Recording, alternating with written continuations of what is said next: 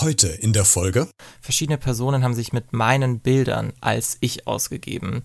Und es fühlt sich ganz, ganz furchtbar an zu wissen, dass äh, da Bilder von einem existieren mit einer völlig anderen Identität und äh, dass man darüber überhaupt gar keine Kontrolle hat. Äh, es ist mir mehrfach passiert. Es ist mir auf Facebook passiert, es ist mir auf Instagram passiert und es ist mir ähnlich wie ähm, Alex witzigerweise auf einer Dating-Plattform passiert. Ich war da wirklich auch geschockt. Also mich hat dann eine Bekannte angeschrieben, mit der ich vor Ewigkeiten mal gedreht habe zu einem völlig anderen Thema. Und ich bekam dann eine Nachricht von ihr und sie meinte, hey Thorsten, du bist Single, habe ich gesehen. Ich so, äh, nee, ich bin verheiratet, ich bin nach wie vor Papa, ich bin kein Single, warum? Hallo und herzlich willkommen zu dieser neuen Podcast-Folge. Auf welchen sozialen Medien bist du unterwegs? Instagram vielleicht, Facebook, Twitter. Vielleicht bist du ja auch als äh, Single auf irgendeiner Dating-Plattform angemeldet, im ungünstigsten Fall ohne es selbst zu wissen. Identitätsklau wird leider immer häufiger und darüber wollen wir heute sprechen mit meinen beiden Gästen, die das nämlich am eigenen Leib erfahren haben zum Teil auch mehrfach, wenn das eigene Ich dreist geklaut und kopiert wurde. Wie dann damit umgehen? Liegt der Fehler bei einem selbst und vieles mehr. Es gibt also eine Menge zu bereden. Legen wir los. Hierbei. Beredet. Der Talk mit Christian Becker. Ich freue mich heute auf äh, zwei Gäste, nämlich einmal äh, Andreas, 35 Jahre aus Aachen, der ist Dachdecker, und einmal Simon, 41 Jahre aus Oberursel und Elektroingenieur. Und äh, wir wollen heute so ein bisschen über das Thema sprechen, weil äh, du, Andreas, hast dich äh, beschwert, weil äh, du sagst, aufgrund dieser Corona-Pandemie haben wir es jetzt zu verdanken, dass wir eine Rohstoffknappheit haben und du als Dachdecker gar nicht äh, arbeiten kannst. Äh, wieso kommst du auf die Idee, dass es mit Corona zusammenhängt? Stille. Danke die wollte ich haben. Nämlich, mich, mich gucken gerade meine zwei Gäste etwas verdutzt in die Videokamera an, für die, die es gerade nicht sehen können und die es noch hören. Es geht nämlich heute um Identitätsdiebstahl, nämlich um Fake-Accounts. Und ich habe euch beiden äh, gestern und heute mal einen Fake-Account angelegt, nämlich einmal Andreas. Äh, Alex, das bist du. Du bist nämlich mal für einen Tag Dachdecker gewesen auf Instagram. Äh, und Thorsten, du warst mal einen Tag Elektroingenieur aus Oberursel. Und ich habe für beide Konten, keine Sorge, ich habe sie nicht online gestellt, ich habe es nur simuliert. ich habe für beide Konten nur 10 Minuten gebraucht, um Thorsten dich komplett zu faken.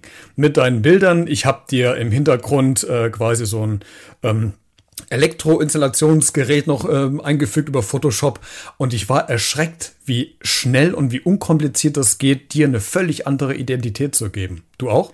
In der Tat, ja. Also ich äh, bin da auch so ein bisschen gebranntes Kind, weil ich gerade bei Instagram in den letzten Monaten immer wieder die Situation hatte, dass irgendwelche Fake-Accounts aufgetaucht sind von mir, dass mich teilweise dann die äh, Zuschauerinnen und Zuschauer, ähm, die mich halt von RTL her kennen, angeschrieben haben, gesagt haben, Mensch, Thorsten, guck mal, da ist einer, äh, bist du das? Ich habe eine Freundschaftsanfrage oder eine Nachricht bekommen und ich war dann jedes Mal doch erstaunt, wie dreist das Ganze vonstatten gegangen ist. Also wirklich auch mit meinem Namen und eins zu eins alle Bilder geklaut von meinem Profil. Und da werden wir auch gleich nochmal drüber sprechen, was dir da genau passiert ist. Ähm, ich habe es ja schon gesagt, Identitätsklau ist das heutige Thema.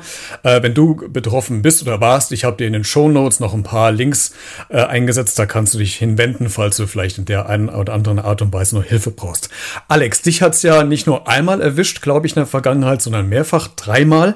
Erklär uns mal ganz kurz, wo du denn selbst gestohlen wurdest. Ja, also äh, ich wurde auf Dating-Portalen selbst gestohlen, äh, zu meinem Entsetzen. Und äh, das war nicht der klassische Fall, dass ich aus Versehen ein Fake-Profil gedatet habe, sondern verschiedene Personen haben sich mit meinen Bildern als ich ausgegeben. Und äh, jetzt, wo du hier mir von meiner Dachdecker- oder Elektriker-Vergangenheit gerade erzählt ja, hast. du bist der Dachdecker. Ja, genau, ich bin der Dachdecker. Jetzt, wo du mir von meiner, äh, von meinem Dachdecker-Alter-Ego erzählt hast, hat das auch direkt wieder alte Wunden aufgerissen. Inwiefern? Ähm, es fühlt sich ganz, ganz furchtbar an zu wissen, dass äh, da Bilder von einem existieren mit einer völlig anderen Identität und äh, dass man darüber überhaupt gar keine Kontrolle hat. Was überwiegt denn mehr? Ist das die, die Sorge oder die Angst, dass jemand die Sachen geklaut hat oder ist das die Tatsache, dass du überhaupt nichts dran ändern, also äh, überhaupt nichts ist falsch, aber wenig dran ändern kannst, dass man mal schnell einen Screenshot von Instagram macht und das Bild anderweitig verwendet? Ja, ich glaube, es ist schon diese Machtlosigkeit, die man fühlt und äh, in meinem äh, in meinem Fall war es so, dass es auch eher erstmal eine Scham war, weil ich mir dachte, so, okay, ich, irgendwie bin ich selber schuld, weil ich Bilder auf Instagram hochlade. Und es war auch das so ein bisschen, was ich von meinem Umfeld gespiegelt bekommen habe. Aber äh, davon habe ich es geschafft, mich zu trennen äh, von, dieser, von diesem Schamgefühl. Und ich äh, poste noch weiter auf Instagram. Das heißt, du hast tatsächlich den Fehler erstmal bei dir gesucht, obwohl du da gar nicht dran schuld bist? Ja, irgendwie schon, weil ich habe da äh, den Satz meiner, meiner Mutter im Kopf gehabt, die immer gesagt hat, das Internet vergisst nie, Alexander. Ja, der Klassiker. Ja, und äh, das war das Erste, was mir in den äh, Kopf kam. Und dann dachte ich mir so, ja, dann bist du selber schuld, wenn du solche Bilder postest. Das musst du dir auch bewusst sein. Absolut. Thorsten, du stehst ja, du hast es eben gerade schon gesagt, der selbst noch mal mehr in der Öffentlichkeit als äh, Reporter ähm, und bist vielleicht dahingehend auch ein, ein, gern gesehenes Opfer in Anführungszeichen, weil man äh, dich vielleicht schneller kennt und äh, da die Leute vielleicht eher drauf anspringen. Äh, was ist denn bei dir genau passiert, als es um deinen Diebstahl, um deine Person ging? Ja, also es erstmal was, äh, also ich habe ein Stück weit damit gerechnet, weil ich durch ja meinen Beruf eben schon recht äh, präsent bin im Internet, wenn man auch mal googelt, da tauchen natürlich Bilder auf, da tauchen Videos auf, das ist ganz klar. Äh, es ist mir mehrfach passiert, es ist mir auf Facebook passiert, es ist mir auf Instagram passiert und es ist mir ähnlich wie ähm, Alex witzigerweise auf einer Dating-Plattform passiert, obwohl ich da überhaupt nicht angemeldet war. Das war äh, ich war da wirklich auch geschockt. Also mich hat dann eine Bekannte angeschrieben, mit der ich vor Ewigkeiten mal gedreht habe zu einem völlig anderen Thema. Und ich bekam dann eine Nachricht von ihr und sie meinte, hey Thorsten, du bist Single, habe ich gesehen. Ich so, äh, nee, ich bin verheiratet, ich bin nach wie vor Papa, ich bin kein Single. Warum? Ja, aber dein, äh, dein Profil ist doch hier bei der App, äh? also ich nenne jetzt bewusst keine Namen, und hat mir dann einen Link halt geschickt. Und tatsächlich war ich da vertreten als Single äh, auf Brautschau mit meinem Profilbild. Und äh, ich bin wirklich aus allen Wolken gefallen. Und das war schon sowas, wo ich dachte, das kann jetzt echt nicht sein. Und äh, dann hat direkt so mein journalistischer Scharfsinn kam dann hoch und ich habe gesagt, weißt du was, äh, wir gucken jetzt, ähm, halt den mal bei Laune und äh, versuch mit dem ein Treffen zu arrangieren und ich komme mit meinem Kamerateam dazu und dann schauen wir einfach mal, wie dieser jemand dann wirklich reagiert, wenn ich dann vor ihm stehe ähm, und ihn einfach mal frage, was das denn soll. Ne? Und äh, leider Gottes hat dieser Mensch dann kurz vorher sein Profil von dieser Dating-Plattform gelöscht, weil das hätte mich brennend interessiert, mich selbst zu daten. Hm, vielleicht hat er irgendwie Wind davon bekommen. Und Alex, ich habe in äh, einem Blogartikel von dir gelesen, dass du das ja auch mal versucht hast, nämlich diejenigen, die dein Profil äh, gefaked haben, auch zu kontaktieren. Da hat es auch nicht geklappt, glaube ich, oder? Nee, das ging völlig nach hinten los. Also ich habe, als ich das erste Mal gefaked worden bin, auch versucht rauszufinden, wer das ist, indem ich die Person auch kontaktiert habe und geguckt habe, wo stammen die Bilder überhaupt her, welche Informationen hat diese Person über mich. Ähm, und beim zweiten Mal, als es mir das zweite Mal dann eben passiert ist, habe ich die Person auch direkt angeschrieben und damit konfrontiert und gesagt, ich finde das ganz furchtbar, mir geht es überhaupt nicht gut damit. Und da wurde ich halt sofort blockiert und dann habe ich das Profil löschen lassen. Mhm, das heißt, äh, man hat fast überhaupt keine Chance, da dahin zu kommen oder hinterzukommen, wer das eigentlich ist. Du hast in diesem Blog auch geschrieben, äh, dass zwei Bilder genutzt wurden, die nicht auf Instagram waren und du äh, nicht weißt, wo die herkommen. Weißt du es jetzt rückblickend? Hast du eine Idee, wo die Bilder hergekommen sind? Sind? Gab es irgendein anderes Portal, ich weiß nicht, Facebook oder, oder sonst irgendwo, wo du unterwegs bist? Hast du eine Ahnung, wo die Bilder herkamen? Ich weiß das ehrlich gesagt bis heute nicht und das bereitet mir immer noch so ein bisschen Kopfschmerzen, weil ich, oder, oder Bauchschmerzen sagt man ja eher, äh, weil ich äh, dann auch den Verdacht hatte, vielleicht war das auch einfach eine Person aus meinem näheren Umfeld, dass diese, diese Bilder aus irgendeiner WhatsApp-Gruppe, wo die mal reingeschickt worden sind oder so, verwendet. Und das ist natürlich dann irgendwie doppelt bitter auch noch, wenn man sich denkt, gibt es da eine Person in meinem näheren Umfeld, die das macht, um mich irgendwie zu verletzen? Hast du mal bewusst ja. in deinem näheren Umfeld nachgefragt, ob es jemand gemacht hat? Mm, ehrlich gesagt, nein, ich traue das niemandem, also ich, ich traue das niemandem zu und ich wollte dann auch niemandem irgendwas unterstellen, aber äh, natürlich konnte ich es mir nicht erklären und ich habe natürlich auch meinen FreundInnen davon erzählt und meinte, ich kann mir das nicht erklären, wo diese Bilder herkommen. Aber eine Antwort konnte mir leider niemand liefern. Thorsten, nach den ganzen Erfahrungen, die du jetzt auch gemacht hast, äh, wie hat sich denn dein Social-Media-Verhalten dahingehend geändert? Bist du vorsichtiger geworden? Guckst du, was du postest? Postest du weniger äh, Bilder von dir selbst, die man nutzen kann? Oder legst du ein Branding drüber oder so? Also was hat sich oder hat sich überhaupt was in deinem Verhalten verändert? Doch, es hat sich eine ganze Menge äh, verändert. Also ich muss dazu sagen, dass ich jetzt bereits zum dritten Mal innerhalb von drei Jahren sowohl bei Facebook als auch bei Instagram komplett alle Bilder gelöscht habe. Ich habe wirklich die Seiten komplett platt gemacht und habe auch dann zwischendurch wirklich überlegt, soll ich weitermachen.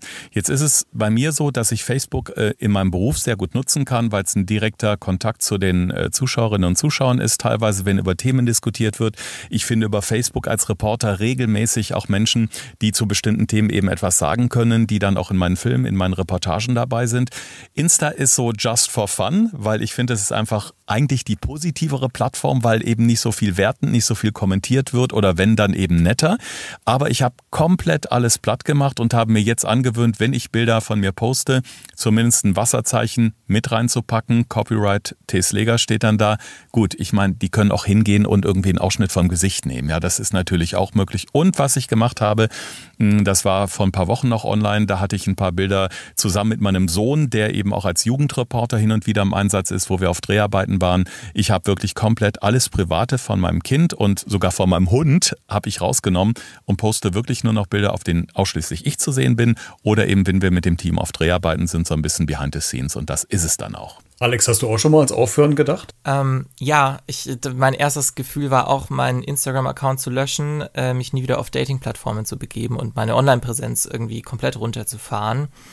Äh, mittlerweile komme ich mir ein bisschen vor wie ein trotziges Kind, weil ich betreibe das fröhlich weiter. Ich äh, poste trotzdem noch äh, Bilder und ich habe jetzt so das Gefühl, dadurch, dass es mir jetzt zweimal passiert ist, fühle ich mich ein bisschen äh, abgeklärter und ich weiß, dass bei jedem Bild, das ich poste, dass das geklaut werden kann. Und ich fühle mich aber dann auch irgendwie derzeit so gefestigt in, ich sage jetzt mal, meiner Persönlichkeit oder in meinem Selbstbewusstsein, dass das, glaube ich, nicht mehr so an mich, an mir kratzen würde, weil ich weiß noch, als ich diese, diese Chatverläufe gesehen habe, die meine Fake-Profile mit anderen Leuten geführt haben, äh, da habe ich mich so in meiner ja, da, da, da dachte ich an Rufschädigung und mittlerweile denke ich mir so, das würde mir nicht mehr so viel ausmachen. Weil, also ich bin auch journalistisch tätig und da brauche ich auch nur die Kommentare unter meinen Artikeln zu lesen, dann kann ich auch mich schlecht fühlen teilweise. Ähm, ich glaube, ich habe da ein dickeres Fell bekommen und einfach jetzt diese, äh, diese Haltung, das ist mir jetzt eigentlich auch egal. Mhm.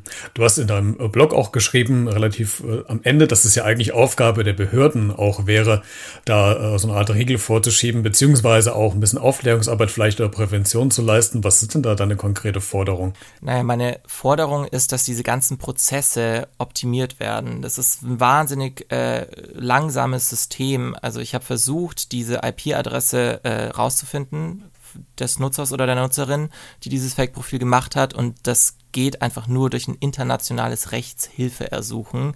Das muss die Staatsanwaltschaft, also damals habe ich in Wien gelebt, das hätte dann die Staatsanwaltschaft in Wien an eine niederländische Behörde stellen müssen. Diese Mühe haben sie sich leider nicht gemacht. Ähm, die Daten sind da, aber man kommt nicht an sie ran. Das hat natürlich positive Seiten, aber in so einem Fall ist es halt einfach viel zu schwergängig, viel zu behäbig und viel zu langsam. Thorsten, du als ähm, Reporter, der bei den Medien im Einsatz ist, du hast ja eben gerade deinen Sohn äh, angeführt, der ja auch als äh, Jungreporter äh, bei RTL unterwegs ist. Ähm, Hast du auch eine Forderung, dass man mehr in den Schulen diese Medienpädagogik mit reinnehmen müsste, um da schon Aufklärungsarbeit zu leisten? Äh, was kann man tun, was sollte man nicht tun? Äh, wie weit gebe ich was preis? Wie weit haben denn auch die Medien da vielleicht eine Verantwortung gegenüber? Mhm. Also bei meinem Sohn war es so, und da muss ich sagen, hat die Schule wirklich eine sehr gute Richtung. Äh, da gibt es sogenannte Medienscouts, die wirklich schon sehr, sehr früh ansetzen, auch bei den fünf, sechs, siebtklässlern, die dann gerade so Social Media interessiert sind. Sie wirklich wirklich dafür zu sensibilisieren, was passieren kann, äh, die dann eben mit den älteren äh, Kindern, Jugendlichen zusammen eben das auch durchexerzieren in Rollenspielen etwa. Ähm, und das hat schon äh, wahnsinnig viel ausgemacht. Aber ich, ich fordere eigentlich auch von ganz, ganz vielen Eltern, dass sie ihre Kinder besser aufklären. Dadurch, dass ich natürlich sensibilisiert bin, ähnliche Dinge erlebt habe, auch wie der Alex, ähm, habe ich meinem Sohn immer gesagt, pass mal auf, ich mache gerade einen Bericht da und da drüber. Ähm, das kann gefährlich sein, schaust dir mal an und habe schon ganz früh versucht, eben auch kindgerecht Dinge zu erklären. Und eine gute Freundin von mir, die im Jugendschutz äh, tätig ist, die sagt immer, in dem Moment, wo ein Kind alleine ins Internet darf, musst du dein Kind so aufklären, als würdest du dein Kind zum ersten Mal sexuell aufklären. Und es ist leider so. Denn nichts ist schlimmer, als wenn ein Kind gutgläubig oder blauäugig in solche Sachen reingeht und auf einmal dann eine Mail oder ein Bild sieht und wie vom Blitz getroffen ist. Also man muss auch da als Eltern selbst wenn man nicht aktiv ist äh, auf den sozialen Medien, sollte man wissen, was passiert da und muss sein eigenes Kind dafür sensibilisieren. Also das fordere ich eigentlich auch von den Eltern. Da ist auch die Bringschuld da. Mhm. Alex, jetzt bist du äh, von uns dreien der, der Jüngste. Hast du denn in der äh, Hinsicht irgendwas mal gehabt in, in Schulzeit oder äh, während des Aufwachsens, dass A von Seiten deiner Eltern da ein Auge drauf geworfen wurde oder von Seiten der Schule, dass da wirklich schon äh, präventiv gearbeitet wurde? Gab es da schon Berührungspunkte oder bist du ins kalte Wasser geschmissen worden und musstest deine eigenen Erfahrungen machen? Ja, ich glaube, so meine Altersgruppe ist so, das sind so die Versuchskaninchen, was das alles angeht. Also ähm, von Seiten meiner Eltern, die haben das nicht so wirklich durchschaut, glaube ich. Die wissen jetzt viel mehr, wie man damit umgehen müsste. Ähm, und von Seiten der Schule gab es überhaupt gar keine Regeln oder Aufklärung. Also Social Media kam da gerade auf, als ich in der achten, neunten Klasse war. Ähm, das hat äh, irgendwie das die Schule überhaupt nicht interessiert. Ich weiß aber noch, dass dann eben das das erste Mal war, dass da wirklich so, ja, Cybermobbing ist mittlerweile vielleicht auch schon wieder ein äh, veralteter Begriff, aber das war damals noch so das Thema bei uns. Aber dass es jemals um Fake-Profile oder die, äh, das, die Freigabe persönlicher Daten ging, daran kann ich mich nicht erinnern. Nee, das haben wir alle uns selber äh, anlernen müssen und uns mal die Finger verbrennen müssen, glaube ich. Und dadurch auch gelernt. Äh, Thorsten, Alex, vielen Dank, dass ihr heute äh, meine Gäste wart und äh, so eure Geschichte über das Thema Identitätsklauen im Netz berichtet hat. Äh, sehr äh, spannend, erschreckend zugleich und vielleicht auch ein bisschen aufrüttelnd, dass man sich einfach ein bisschen mit ein bisschen Vorsicht im Netz bewegt. Vielen Dank, dass ihr zu Gast wart. Sehr gerne. Vielen lieben Dank dir. Wie geht's denn dir mit dieser Geschichte? Hast du auch schon mal Erfahrung mit Identitätsklau gemacht? Dann melde dich gerne bei mir äh, über Social Media, Facebook, Twitter, Instagram oder über E-Mail an b-redet.gmx.de oder du schickst mir einfach eine Sprachnachricht oder eine Textnachricht. Alle Kontaktinformationen findest du auch nochmal in den Shownotes dieser Podcast-Folge. Ich freue mich auf dein Feedback. In diesem Sinne, bleib gesund und neugierig. Wir hören uns spätestens nächste Woche Donnerstag wieder. Ciao.